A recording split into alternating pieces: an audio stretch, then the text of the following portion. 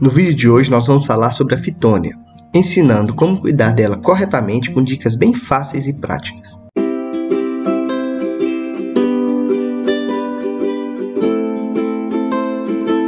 A fitônia é uma espécie rasteira, alcança no máximo 15 cm de altura, é herbácea e tem folhas pequenas, ovaladas e de textura aveludada que ficam lindas em composição com outras plantas.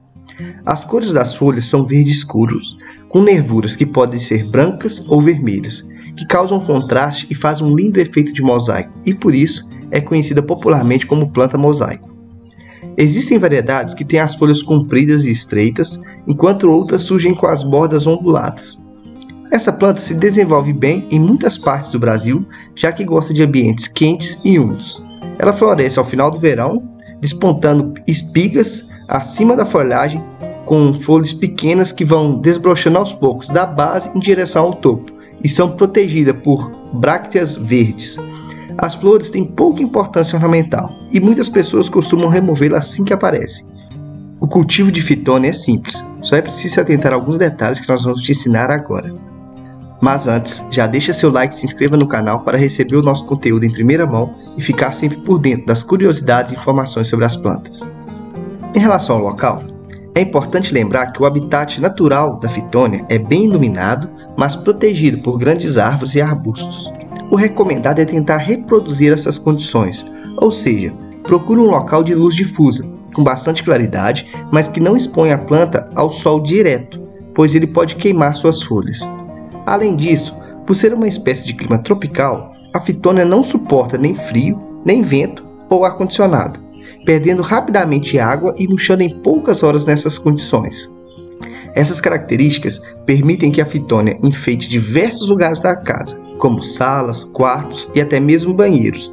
Isso se tiver uma claridade e ventilação adequada. O solo para o plantio deve ser rico em matéria orgânica. Um excelente substrato para a fitônia pode ser preparado misturando uma medida de humus de minhoca, uma medida de terra e uma medida de areia de construção.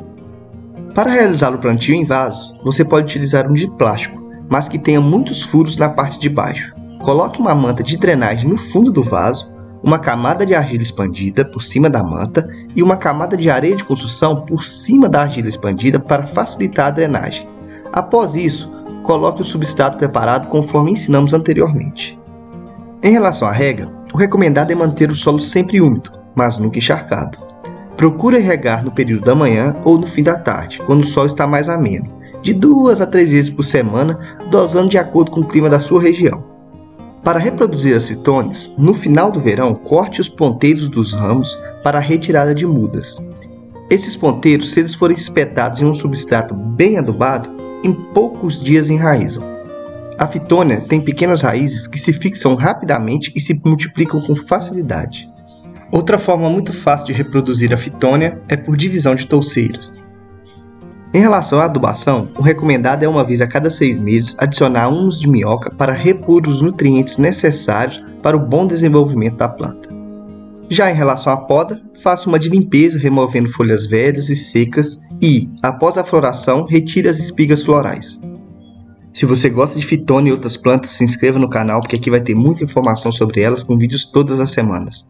Essas foram as nossas dicas. Muito obrigado por assistir até aqui. Assista também outros vídeos do nosso canal e até a próxima.